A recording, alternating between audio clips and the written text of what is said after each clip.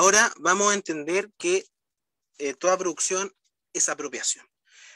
Para existir o no para existir o satisfacer necesidades, la comunidad humana o comunidad productora, como le va a llamar Marx en algún escrito, la sociedad debe producir. Y para producir debe apropiarse los medios de producción. Apropiarse en cuanto ocupar estos, disponer de esto en función de su voluntad. Y por ello plantea que toda producción es apropiación. Por tanto, comunidad, comunidad es al mismo tiempo productora, productora y propietaria. Y esto es clave. Por ejemplo, cuando nosotros eh, hablamos de cualquier comunidad humana, produce para producir, satisfacer necesidades, pero cuando estamos produciendo, nos estamos apropiando de las maquinarias, de la naturaleza, estamos apropiándonos también eh, de los instrumentos o medios de producción. Es decir, estamos ocupándolas en función de nuestra voluntad, estamos haciéndolas propias. ¿Cuál es el problema? Que Marx, al, ir captando estas categorías eh, a lo largo de la historia, notó que existe un modo de producir en el capitalismo en donde los medios de producción no son apropiados inmediatamente por la comunidad productora, lo apropia un tercero, el capitalista. Establece una separación entonces eh, entre el que ejerce la fuerza, el trabajo vivo, la fuerza de trabajo, y quien es dueño de los medios de producción. Pero también en la sociedad capitalista existe una apropiación, una apropiación por parte del capitalista del producto, del producto que al final trabaja. Cuando el obrero está amartillando constantemente en la fábrica, el martillo que está haciendo, por ejemplo, o la lámina de metal, no es inmediatamente para él que lo consuma, o para que lo consuma su familia, o su clan, o su barrio. No, es para que un tercero, el capitalista, pueda disponer de él, apropiarse de él como estime conveniente. Y como le conviene a él, lo pone a circular al mercado para obtener ahí eh, hacer un traspaso de valores, de, valor de uso a valor de cambio, como lo vamos a ver en las próximas sesiones. En este sentido, la relación entre fuerza de trabajo y medios de producción, que al fin y al cabo la pregunta es, ¿quién se apropia del, del producto y quién se apropia de los medios de producción? ¿Quién va a terminar siendo el dueño o no? ¿Quién es enajenado? ¿Quién es sacado? ¿Quién es eh, extirpado de poder apropiarse de esto? Cuando Marx habla de lucha de clases, se pregunta por ello. ¿Quién apropia? Y aquí aparece la lucha de clases. Y Marx nos va a decir que a lo largo de la historia, como vimos al comienzo, hay distintas, hay distintas clases sociales. En actualmente, eh, como lo vamos a ver, eh, Marx nos va a plantear la relación entre proletarios y burgueses. Los proletarios que trabajan en la, en la fábrica, y burgueses los que son dueños de estos medios de producción. No confundir con los gerentes, que creo que es importante. Finalmente, para continuar eh, introduciéndonos al concepto de lucha de clase en Marx, vamos a leer la siguiente cita.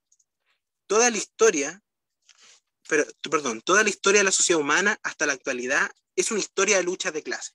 Es decir, esta relación que existe eh, de apropiación con la naturaleza, con los medios de producción, etcétera.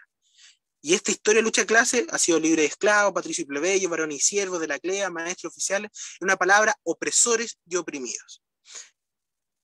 Es decir, opresores quien se termina apropiando, pero para que sea sustentable esa apropiación, tiene que generar una serie de dispositivos, de acciones, de prácticas de dominación, de convencernos de que ese sistema de relaciones sociales está bien, pero también en caso de que no estemos convencidos, la coacción, tener, por ejemplo, policías, militares, que permitan asegurar que ese sistema se continúe perpetuando, se continúe reproduciendo. En este sentido, la lucha de clase, esta relación que nosotros hemos establecido, también establece una lucha que es política. Es decir, la economía y la política están unidas. Lo que nos va a plantear Marx en su lo que parecía separado, en primera instancia, la economía y la política, realmente son una cosa, son lo mismo, la humanidad. Es decir, economía y política, y por eso estos cursos se llaman de economía política. Porque para entender la lucha de clase, para entender, por ejemplo, por qué ciertos grupos sociales pueden disponer y disponen y de qué modo disponen dispositivos para convencernos, medios de comunicación, redes sociales, películas, etcétera, pero también de coacción, policía, agencias nacionales de inteligencia, etcétera, para entender también el lado político de estas clases sociales, hay que entender quién se apropia entonces de los medios de producción. y del producto.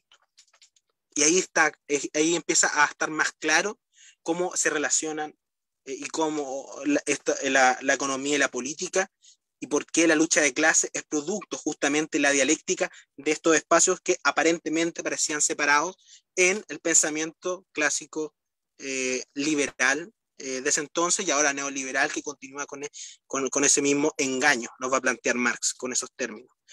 Finalmente, mencionar que el, el asalariado solo puede ser propietario de medios de subsistencia y en caso de hacerse propietario de medio de producción, dejará de ser asalariado.